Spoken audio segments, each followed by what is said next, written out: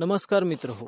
Corona व्हायरसच्या ह्या जगात थोडंसं मनोरंजन आणि थोडासा अभ्यास. आम्ही आपल्यासाठी घेऊन येत आहोत एक यूट्यूब मालिका वास्तविकतेची जादू. प्रोफेसर रिचर्ड डॉकिन्स यांनी ह्याच विषयावर एक पुस्तक लिहिलं आहे ज्याचं नाव आहे द मॅजिक ऑफ रियालिटी मराठीमध्ये सांगायचं तर वास्तविकतेची जादू. आपली ही मालिका ह्याच विषयावर चर्चा करायचा प्रयत्न करेल. प्रत्येक भागात आपण विज्ञानाच्या पावलांचे ठसे शोधण्याचा प्रयत्न करूया.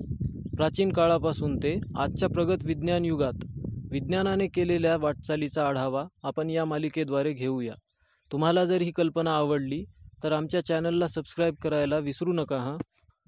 चला तर मग आज आपण वास्तविकता आणि जादू यातला फरक समजून घेऊया. वास्तविकता आणि जादू. वास्तविक म्हणजे ते सर्व काही ज्याचे अस्तित्व आहे सोपं वाटतंय नाही का? पण ते तेवढं सोपं नाही कारण एखाद्या गोष्टीचे अस्तित्व ठरवायचे कसे? उदाहरणार्थ डायनासोर. एकेकाळी ते अस्तित्वात होते सध्या नाहीत. मग ते खरे नाहीत का? एखादी गोष्ट अस्तित्वात आहे की नाही हे आपण कसे ठरवणार? जी गोष्ट आपल्या ज्ञानेंद्रियांना ओळखता येते तिचे अस्तित्व आपण एकमताने मान्य करतो. जसे की दगड हवा पाणी अग्नी आकाश इत्यादी. पण थोडासा विचार केला तर आपल्याला कळेल की निसर्गाने आपल्याला दिलेल्या ज्ञानेंद्रियांची क्षमता किती मर्यादित आहे ते. सुरुवातीला मी तुम्हाला सहज पटतील अशी उदाहरणे देतो. म्हणजे त्या पाठोपाठ येणाऱ्या अवघड उदाहरणासाठी तुमची तयारी होईल. आपल्या भोवती फिरणारा मानवनिर्मित उपग्रह मंगळावर पाठवलेले मंगळयान चंद्रावर पाठवलेले चांद्रयान या गोष्टी तुम्ही कधी पाहिल्यात का? आजही या गोष्टी आपल्या भोवती फिरत आहेत पण त्या आपल्या नजरेस कधी पडत नाहीत. आपल्या पाच ज्ञानेंद्रियांपैकी एकालाही ते ओळखता येत नाही. ही झाली दूरवरची वस्तू पाहण्याची क्षमता. आपण शाळेत अमिबा आणि बॅक्टेरिया बद्दल शिकलोय. उघड्या डोळ्यांना ते कधी दिसले का? कारण डोळे हे ठराविक अंतरावरची किंवा ठराविक आकाराची गोष्टच पाहू शकतात. त्या पलीकडे नाही. व्हेल आणि वटवाघूळ हे ज्या आवाजात बोलतात म्हणजे ज्या फ्रिक्वेन्सीमध्ये ते संवाद साधतात ती फ्रिक्वेन्सी आपल्या कानांना समजत नाही. रेडिओ वेव्ह ज्याच्या मदतीने आपण टी व्ही रेडिओ आणि मोबाईल वापरतो त्यांना ऐकण्यासाठी आपल्याकडे कुठलेच ज्ञानेंद्रिय नाही. मग म्हणून काय आपण त्यांचे अस्तित्व नाकारायचे? त्यासाठी विज्ञानाने आपल्याला उपकरणे बनवण्याची युक्ती सांगितली. त्या उपकरणांच्या मदतीने आपण आपल्या ज्ञानेंद्रियांच्या क्षमतेबाहेर असणाऱ्या गोष्टींना आपल्याला ओळखता येतील अशा गोष्टीत रूपांतरित करतो. मायक्रोस्कोपच्या मदतीने बॅक्टेरिया मोठे करणे असो किंवा दुर्बिणीच्या मदतीने दूरवरचे ग्रह जवळ करणे असो नाहीतर एखाद्या रेडिओ लहरीचे आवाजात किंवा चित्रात रूपांतरण असो वैज्ञानिक उपकरणाद्वारे आपण एखाद्या गोष्टीचे अस्तित्व सिद्ध करू शकतो. आता एक उदाहरण घेऊया थोडंसं अवघड. डायनासोरच्या अस्तित्वाबद्दल. डायनासोर हे सोळा कोटी वर्षापूर्वी पृथ्वीचे रहिवासी होते. आता प्रश्न हा आहे की हे खरं आहे की फक्त एक कल्पना? आपण तर त्यांना पाहिलं नाही ऐकलं नाही स्पर्श पण केला नाही. मग त्यावर विश्वास कसा ठेवायचा? एक ऑप्शन आहे तो म्हणजे टाईम मशीन पण त्याचा शोध अजून लागायचा आहे. मग आता करायचे काय? सुदैवाने या प्रश्नाचे उत्तर पण निसर्गच देईल. निसर्गाने एक खास उपकरण बनवले ज्याला आपण म्हणतो जीवाश्म. जीवाश्म शब्दाचा संधी विग्रह केला तर जीव आणि अश्म असा होईल. अश्म म्हणजे दगड मृत प्राणी वनस्पती यांचे नैसर्गिकरित्या जतन केले गेलेले अवशेष म्हणजे जीवाश्म होय. ते खडकामध्ये नदी किंवा समुद्र तळाशी पडलेल्या गाळामध्ये तयार होतात. जीवाश्मांना आपण नक्कीच उघड्या डोळ्यांनी पाहू शकतो. मान्य आहे की ते नाचू बागडू शकत नाहीत पण जर आपण ते तयार होण्याची प्रक्रिया जर समजून घेतली तर ते आपल्याला बरंच काही सांगू शकतात. आता थोडंसं दुर्बिणीबद्दल. दुर्बीण ही एक प्रकारची टाईम मशीनच आहे. आपण ज्या गोष्टी पाहू शकतो त्या सगळ्या प्रकाशामुळे. आणि हा प्रकाश एका जागेवरून दुसरीकडे जाण्यासाठी काही वेळ घेतो. तुम्ही नक्कीच वाचलं असेल की सूर्यप्रकाशाला पृथ्वीवर पोचण्यासाठी पाचशे सेकंद लागतात.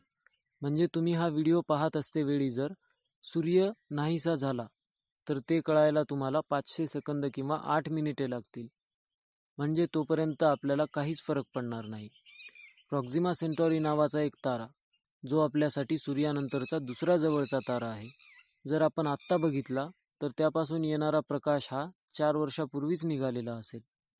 म्हणजे दोन हजार सोळामध्ये जे काही त्या ताऱ्यासोबत घडलंय ते तुम्ही आज दोन हजार वीसमध्ये बघताय.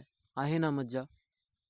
म्हणजेच जर तुमची दुर्बीण खरंच शक्तिशाली असेल आणि जिच्याद्वारे प्रॉक्झिमा सेंट्रॉरीच्या ग्रहाचे फोटो जर तुम्ही काढू शकलात तर ते फोटो चार वर्षापूर्वींचे असतील.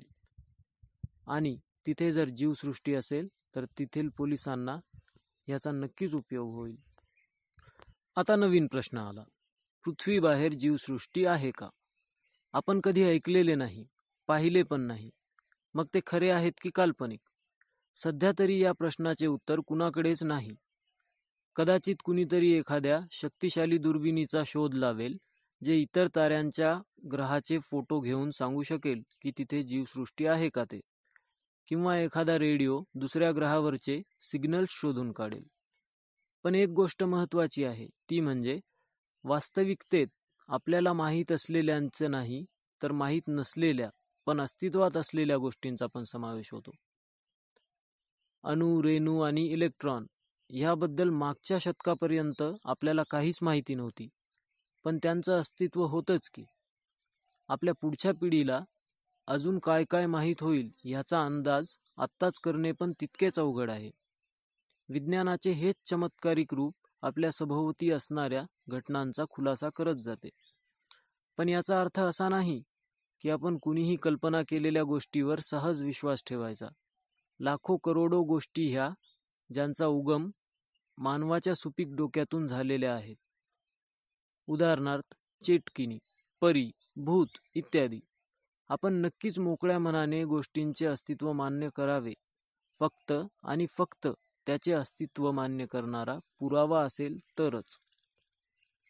गोष्टींचे अस्तित्व सिद्ध करण्यासाठी असलेल्या बऱ्याच पद्धतींपैकी वैज्ञानिक पद्धत ही महत्त्वाची पद्धत आहे. आपण तिच्याबद्दल थोडेसे जाणून घेऊया. वैज्ञानिक पद्धत. समजा जर एखादी गोष्ट तुमच्या पाच ज्ञानेंद्रियांच्या क्षमतेच्या बाहेर असेल तर तिच्या अस्तित्वाचा पुरावा शोधायचा कसा? त्यासाठी वैज्ञानिक एक साधी सोपी पद्धत वापरतात ज्यामध्ये ती गोष्ट कशी असेल ह्याबद्दल एक मॉडेल बनवले जाते जे तपासून पाहता येते.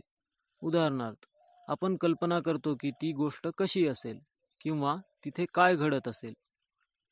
त्यालाच आपण मॉडेल म्हणतो. त्यापासून मग आपण जर एखादे उपकरण बनवले तर काय दिसेल याचा कयास बांधतो.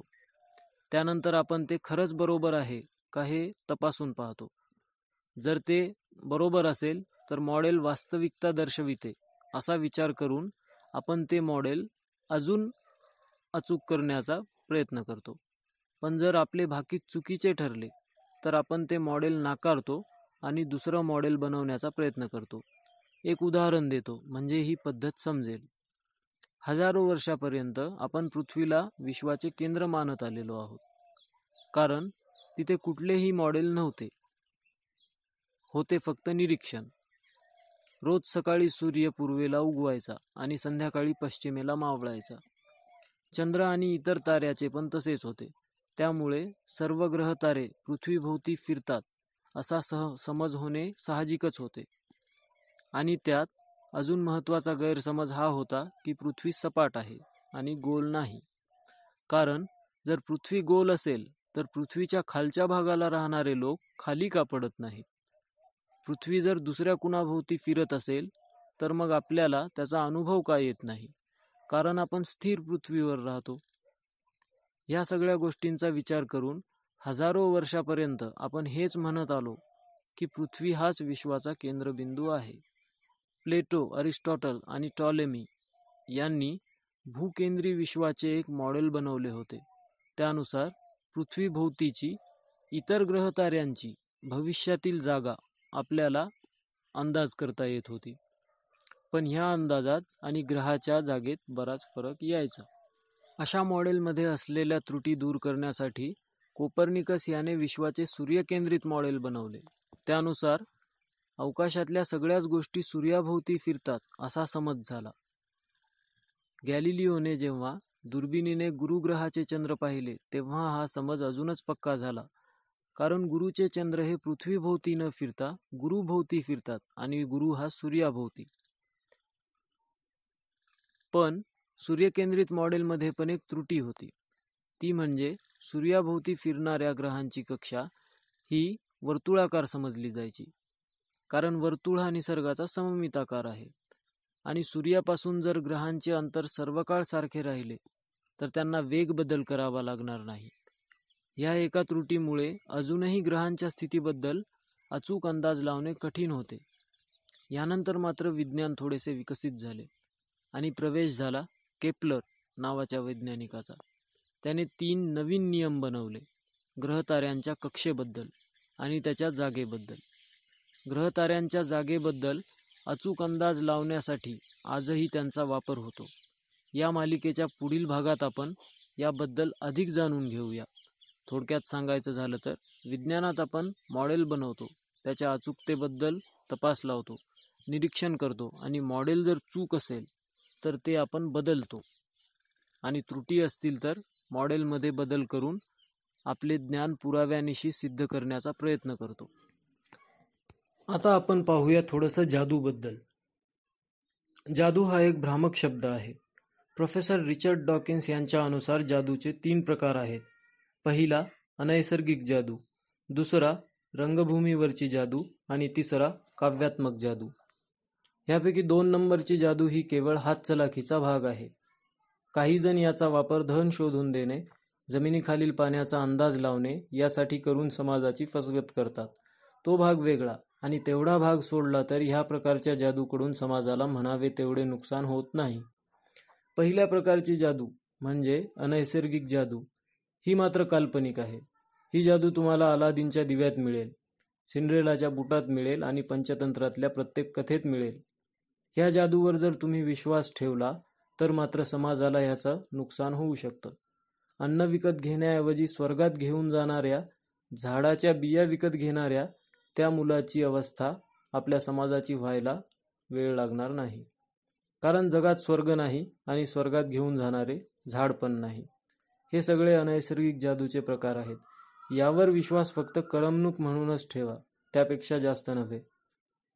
आता उरतो तो शेवटचा प्रकार म्हणजे काव्यात्मक जादू. एखादे भावूक पुस्तक वाचून किंवा रोमांचक चित्रपट पाहून डोळ्यात पाणी येते. अमावस्येच्या काळ्या कुट्ट रात्री आकाशातील टिमटिमते तारे पाहून मनातून अचानक जादुई दुनियेचा आविष्कार होतो. भुंग्यांना दिसणारा गुलाब अतिनील किरणाद्वारे हा आपल्याला दिसणाऱ्या गुलाबापेक्षा अधिक सुंदर आहे हे माहिती पडल्यावर होणारे आश्चर्य हे सगळे जादूच्या तिसऱ्या प्रकारात मोडतात. आणि ह्या तिसऱ्या जादूबद्दल आपण अधिक चर्चा करणार आहोत या मालिकेच्या पुढच्या भागात. तर मित्र हो भेटूया पुढील भागात. तोपर्यंत ह्या व्हिडिओला लाईक करायला विसरू नका.